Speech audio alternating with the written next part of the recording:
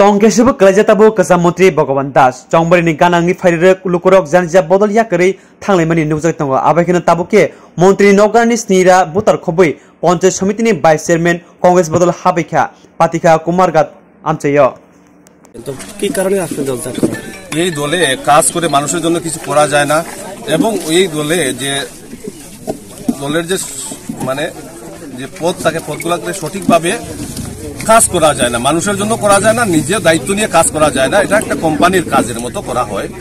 তাই আমার অনুরোধ থাকব, এই দল ছেড়ে সবাই আমাদের জুটের, কংগ্রেস সিপিএমের যে শুভ জুট, জুটের যিনি প্রার্থী হ্যাঁ মাননীয় সত্যবান দাস মহাশয়কে আপ- আপ- আপনার মাধ্যমে আমি সোশ্যাল মিডিয়ার মাধ্যমে জানান দিতে চাই পাবিয়াচড়ার বিধানসভার যে নয়টি গ্রাম পঞ্চায়েত আছে এডিসি ভিলেজ আছে, মাছপাড়া সেক্টর আছে, প্রত্যেক শুভ বুদ্ধি সম্পন্ন মানুষ, সুনাগরিক যারা তারা যাতে উনাকে বুট দিয়ে জয়যুক্ত করে। এই পাবিয়াচড়া কন্টিনজেন্সির বা বিধানসভা এলাকার উন্নয়নের জন্য, মানুষের সঠিক গণতন্ত্রের জন্য এবং বেকারের কর্মসংস্থানের জন্য প্রত্যেক যাতে ভোট করে এবং আমার গ্রাম পঞ্চায়েতের বিভিন্ন প্রশাসনিক কাজ করায় বিভিন্ন গ্রাম পঞ্চায়েতের প্রধান, উপপ্রধান, পিআরআই বডি যারা আছে, প্রত্যেকের সাথে আমার সুসম্পর্ক। পঞ্চায়েত সমিতির মেম্বার যারা আছে, উনাদের কাছে আমার করজুড়ে আপিল থাকব।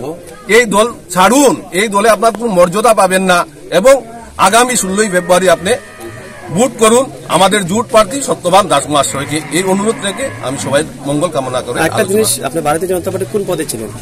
ভারতীয় জনতা পার্টি পাবিয়াচড়া মন্ডলের সাধারণ সম্পাদক হিসাবে কাজ করেছি। কাজ শুধু সম্পাদক নাম।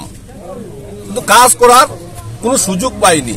কারণ একজন সর্বশিক্ষা শিক্ষক যিনি সিপিএম এর আমলে চাকরি পেয়ে সিপিএম করে উনি আবার আরএসএস বলে আখ্যায়িত করেন। আরএসএস এর যে যে গুণাবলী থাকা দরকার ওনার মধ্যে কোনো গুণাবলী নাই। কারণ স্কুলের বাচ্চাদের শিক্ষা ব্যবস্থাকে নষ্ট করে তিনি রাজনৈতিক কাজ করছেন। কারও না কারও পরিবারের ক্ষতি করছেন। তাই উনি যাতে আগামী দিন ওই মন্ডলের মন্ডল সভাপতি দায়িত্ব দিয়ে মন্ডলকে সুন্দর করেন এটাই আমার বিগত দিনের দলকে আমি বলব। আরেকটা জিনিস জানি আমরা যত প্রশাসনিকভাবে আপনি কুমারঘাট পঞ্চায়েত সমিতির ভাইস চেয়ারম্যান ছিলেন। হ্যাঁ চিলিয়া। তো এখন বর্তমানে আছে আপনারা কতজন ভোটার নিয়ে আজকে আপনারা কংগ্রেস দলের সামনে আমরা প্রায় ভোটারের হিসাব করলে প্রায় সাতশো ভোটার নিয়ে আমরা যোগদান করেছি। একটি পাড়ার মধ্যে প্রত্যেক এখানে নয়শোর মতো পরিবার আছে। প্রত্যেকটা পরিবার আমাদের জুট প্রার্থীকে ভোট করবেন। এখানে বিজেপি পঞ্চাশটা ভোট শুধু যারা প্রধান উপপ্রধান আছেন। মেম্বারটা চলে এসেছেন। বুথ সভাপতিরা আসবেন। শুধু তাদের পরিবারের ভোট পাবেন এবং শক্তিকেন্দ্রের ইনচার্জও নাও থাকতে পারবেন। ষোলো তারিখ পর্যন্ত দেখুন না আগে কি হয়। হ্যাঁ পিকচারটা আগে দেখুন ষোলো তারিখ কি হয়। কোন কোন এলাকাতে যোগদানটা হয়েছে? এটা বাটি দুধপুরে সরকার পাড়া এটা কি পঞ্চাশ পাবিয়া চড়া বিধানসভা? হ্যাঁ পঞ্চাশ পাবিয়া চোড়ার